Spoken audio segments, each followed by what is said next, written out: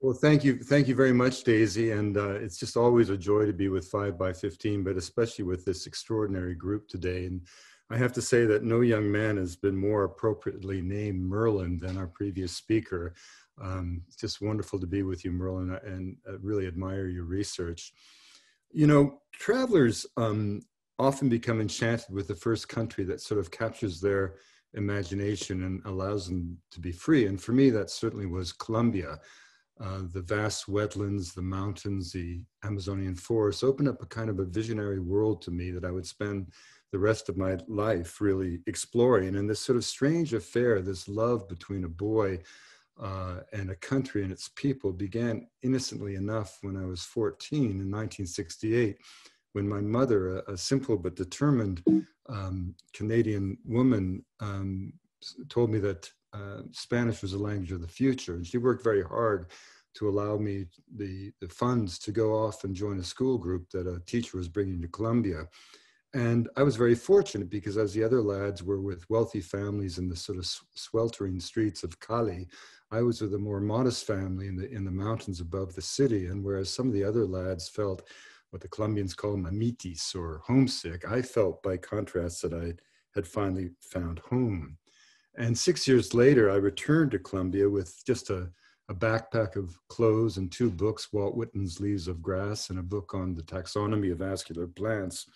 And I, both figuratively and literally, I drank from every stream. I felt that bliss was an objective state.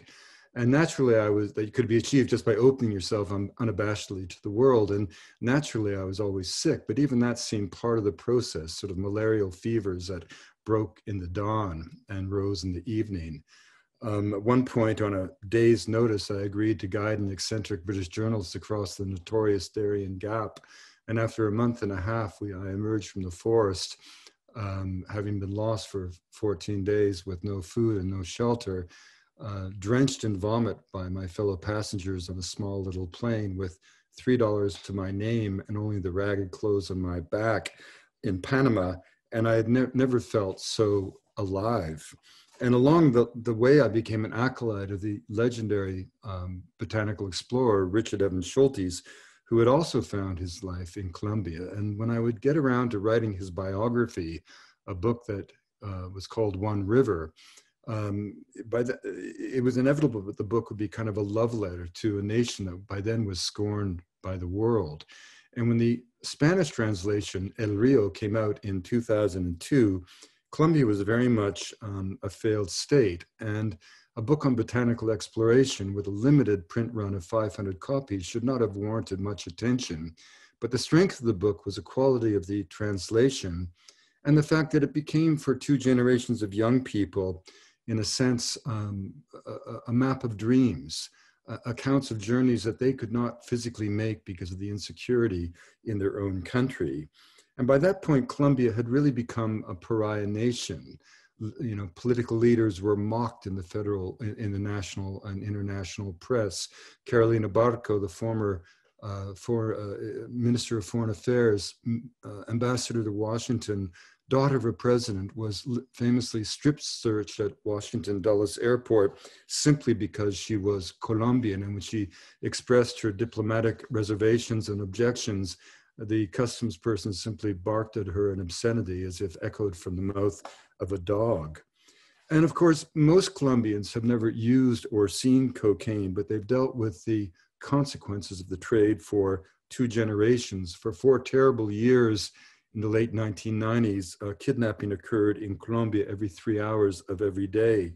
Um, by 2012, 5 million Colombians had either by choice or through uh, obligation fled their country. Internally within the country, there were 7 million uh, people internally displaced. You know, how would the United States feel if Canada had patterns of drug consumption in bars and boardrooms across our country and drug laws that facilitated an illicit trade but did nothing to quell that trade, the consequence of which would imply 85 million Americans would be forced to flee their homes, you can get a sense of what Colombia has in, has in fact endured.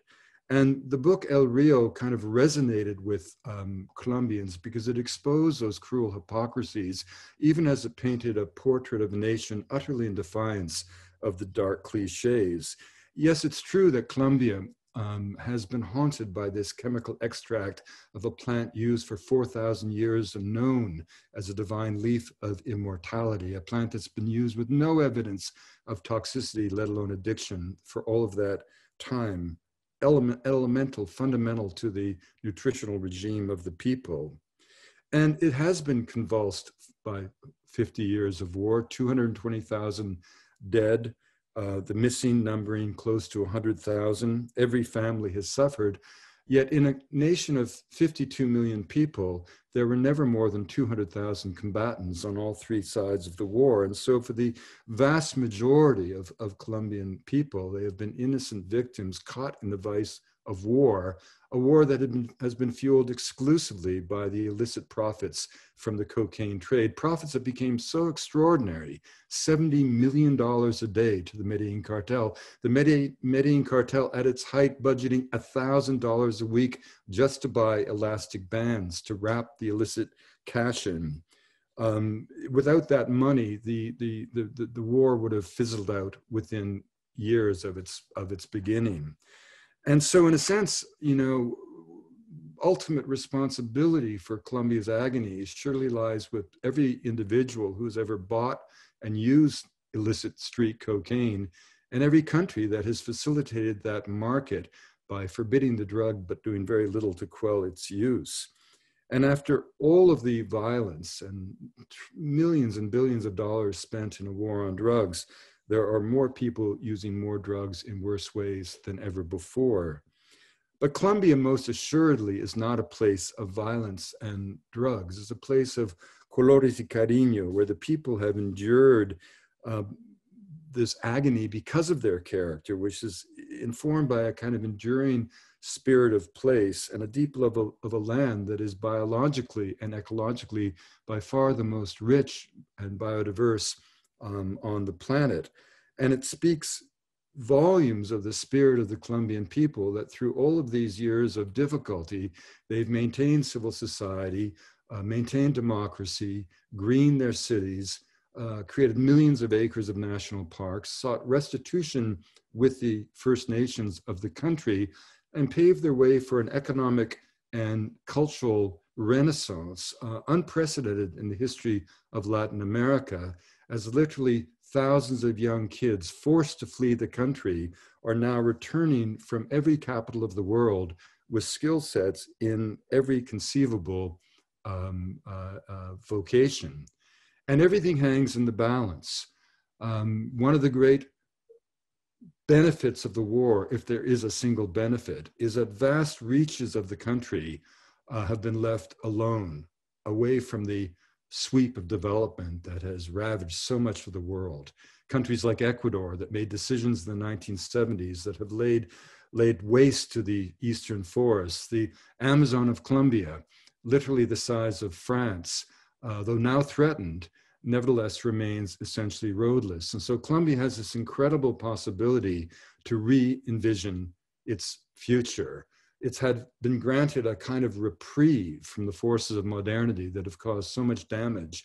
And it can now make these decisions informed by a new level of understanding of the importance of both biological and cultural diversity that simply didn't exist uh, 50 years ago.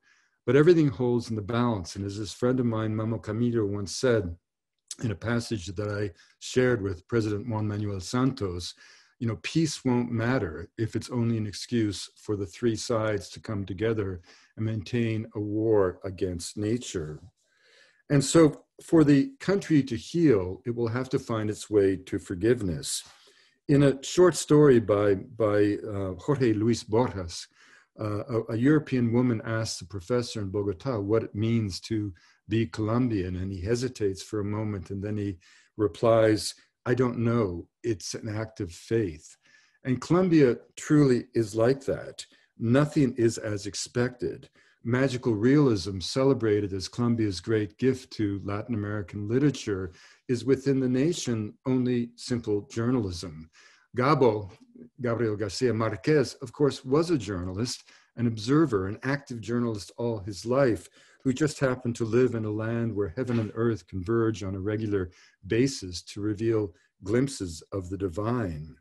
Only in Colombia can you wash ashore in a coastal desert, follow wet uh, forests through uh, waterways and wetlands as wide as the sky, and ascend narrow tracks into the mountains to reach temperate landscapes as soft as any to be found in the old world.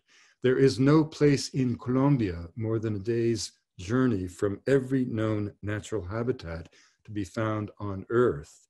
Cities as cultures as, as any in the Americas were, for most of their history, linked one to another only by trails covered by mules. And over time, the kind of wild and impossible um, geography found its perfect coefficient in the topography of the Colombian spirit, a people that are restive and potent and at times placid and calm and in moments tortured and twisted like a mountain that shakes and crumbles and falls away into the sea. And so within Colombia, magic becomes the um, the antidote to fear and uncertainty, and reality comes into focus through the reassuring lens of the phantasmagoric.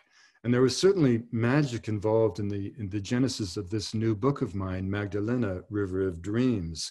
I was invited to Colombia by a group of scientists and photographers and journalists who had been given the opportunity to do five illustrated books in the five great regions of Colombia. And these books were not to be sold, but gifted to every library in the country to send a message to a new generation of young people that theirs was not a country of violence and war and kidnapping and drugs, but rather a country of the greatest ecological diversity and biological bounty to be found on the planet. I remember a wonderful campesino, a fisherman who had stood up uh, in defiance of every guerrilla and paramilitary group who came through his community. And around a small little wetland that you could walk around in a short morning, he and the local school children had found 75 different species of butterflies. And I said to Morita, that's incredible, man.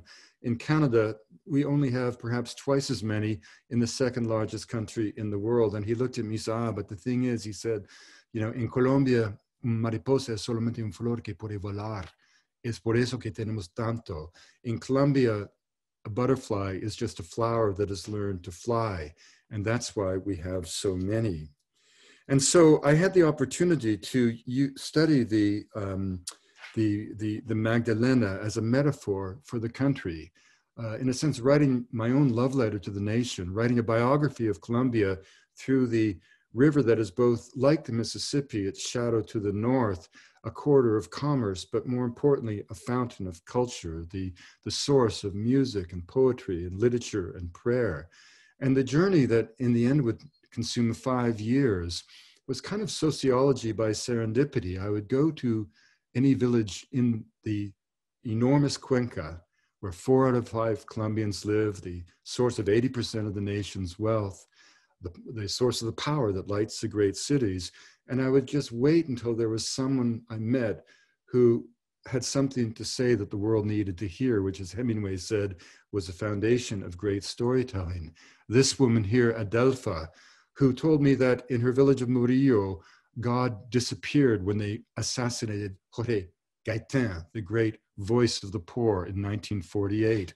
But God returned, she told me, on one night. And that was a fateful night when half of Nevado de Ruiz blasted apart with the greatest explosion of volcanic eruption in the history of Latin America, and a literal river of hundreds of millions of tons of debris came right down onto her village, and suddenly it went the other side of a ridge, and not a single person died, even as she stood like a kind of an anchor with her children in the darkness, with black snow, rain falling, and ash, as she read their faces in the darkness like braille to see that they were still all with her at her side. The resilience of Colombians. You know, when you go to Colombia, it's a little bit like the stories that would come out of the Soviet Union, where Max Hastings, the famous British uh, historian uh, would say he'd speak to someone who would say, Oh, my sister was killed in this gulag.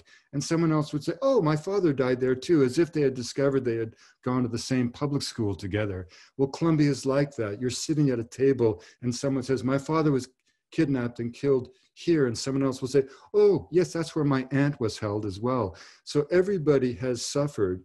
Nobody has been untouched. And yet the spirit of the Colombian people uh, continues here in a place called Puerto Berrio, where the river had become the cemetery of the nation, where the paramilitaries would cast the dead, having slaughtered and dismembered them, having told the people, leave the dead, the dead, because if you touch them, we will kill you. And instead, the people defied the paramilitaries, carried the dead out of the river, baptized them with the names of their own deceased allowing them to re enter the sacred cycle of life, death, and rebirth, escaping purgatory, allowing them to reach the doors of heaven. And so the culture of Colombia comes from the river. The river is a source of music. It's said in Colombia, ethnomusicologists, it's said that to be a, a land of a thousand rhythms, ethnomusicologists have actually found 1,025.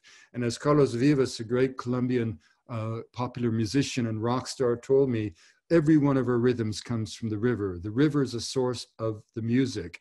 To heal ourselves, we must heal the river. To heal the river, we must heal ourselves.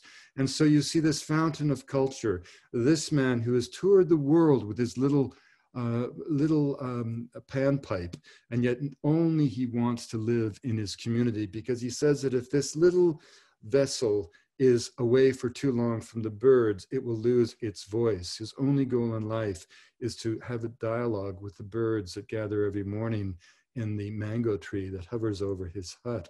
This is a story of Colombia. In the Sierra Nevada de Santa Marta, at the base of it, the great Ciénaga del Rio, uh, uh, the, uh, Ciénaga Grande de Santa Marta, this great wetland that shines like a mirror to the sky. In 2003, this modest floating fishing a village of Nueva Venecia, where the cats swim and the dogs are afraid of water. A terrible massacre occurred, but new generations have grown up. And when I asked a fisherman what the government might do to offer some kind of compensation for their suffering, the first thing he said is, We need new houses. But then he said, no, no, we don't need new houses. What's good is a house if we don't have the bounty of the Ciénaga? We have to clean up the Ciénaga. Then I hesitated as he changed his mind. And he said, no, the Ciénaga doesn't matter if we don't fix the canals coming in, the channels coming into the Ciénaga. And then he hesitated yet again. He said, no, no, what good will that be if we don't clean the river itself, the Mother Magdalena? That's what we need. Cleaning the river will clean our soul. Cleaning our soul is to clean the river. And finally, here's a, an image of, of contemporary Colombia, just to reveal to you the greatest danger you face if you travel to Colombia. It's that you'll never want to come home. Here's a sign of the danger of Colombia lovers in the street, 3 a.m., practicing their salsa. My companion on the journey, my companion in writing the book, Sandra Uribe, once told me that we named the river Magdalena at a time when Maria Magdalena was seen to be a woman of the night. Now, a generation um, ago, they took the scarlet letter of sin off of Maria Magdalena's body, and now Pope Francis has named her the Apostle of the Apostles, the one and only, the, the spiritual watchtower of the world, the one who stood by Christ in his death and was the first to announce the glory of his ascent. And Sandra said to me, Why can't we do that to the river? And the moment she said that, a little yellow bird landed on our table, pecked at the crumbs, and flew off into the cloud forest.